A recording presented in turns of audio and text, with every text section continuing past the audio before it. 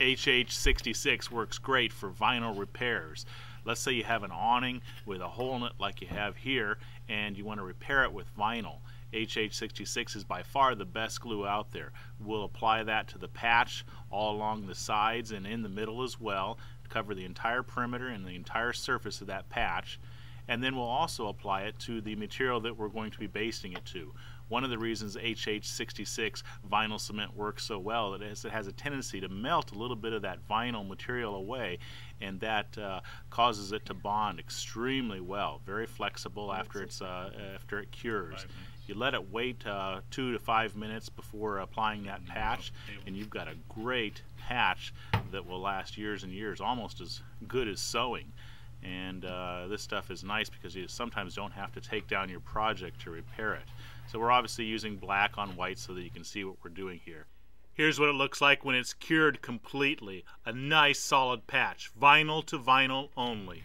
In this illustration we're going to use HH66 vinyl cement on this super heavy duty tramp material. Uh, we've already cut the uh, facing which is 6 inches in width and will be folded to 3 inches for the grommet reinforcement. We're using the cement to secure that vinyl facing on the edge of this super heavy duty tramp because it makes it easier for sewing. So we've already drawn a line down the center of this uh, facing and that determines the center position. So we'll match up that uh, super heavy duty tramp close to that line, not directly on top because we want a little bit of a, a, give so that we can make sure that it sandwiches on the other side nice and neat. Look how strong it is when it's cured uh, completely. You can almost lift this whole super heavy duty tramp up just by that facing. So you know it's going to hold well when you go to your sewing machine and sew it. To complete it off, we'll just uh, put HH66 vinyl cement on the other side of this facing and then fold it over the top and secure it. Should wait about uh, two to five minutes for it to cure. That way it sets up nicely.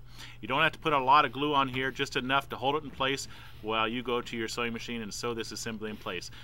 Many of our customers are building super heavy duty tramps because they cost so much. So this is a great little secret in making that job a little bit easier while you're taking it to your sewing machine and sewing.